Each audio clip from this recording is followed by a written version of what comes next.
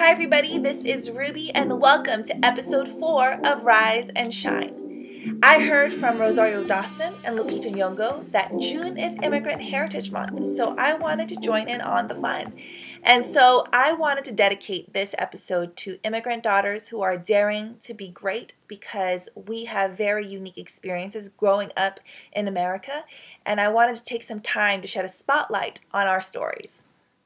So, a little bit of background on me.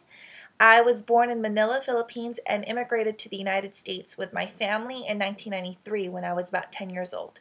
Our beginnings were very humble, and I couldn't be any prouder of my parents, both of whom worked very hard to create and set up an entirely new life for us. So, in this episode, I want to share some insights and wisdom that I've gained along my path to encourage other immigrant daughters or girls who grew up like me to rise and shine to your potential. If your story is anything like mine, then you'll understand what it's like to not have everything handed down to you. You've probably had to work twice as hard for your opportunities with more limited resources. But facing challenges allows you to grow in character, to deepen your wisdom and self awareness. And these are things that are necessary in life that can't be taught or bought, but can only be learned from experience. So remember that whatever adversity that you're facing right now, know that it's a blessing because your adversity prepares you to be who you need to be, to be exceptional. Number two, don't count yourself out of the game before you even start. Play. It's easy to think that some opportunities are out of your reach, but go for it. I urge you.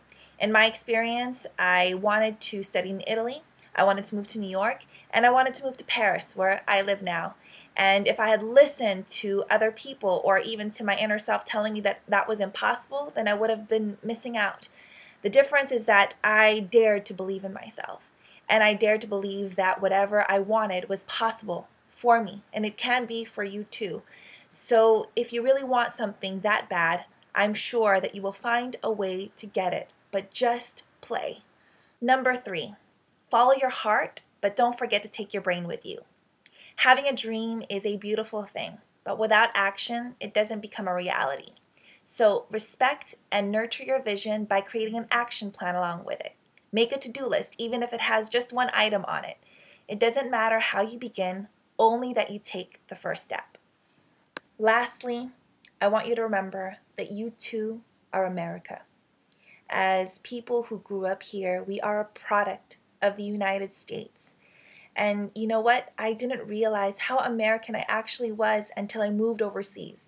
When I moved back to my home country of the Philippines in 2012, I felt how American I was. And now that I live in France, I understand even more how American I am in my attitude, in my approach, and in my ambition.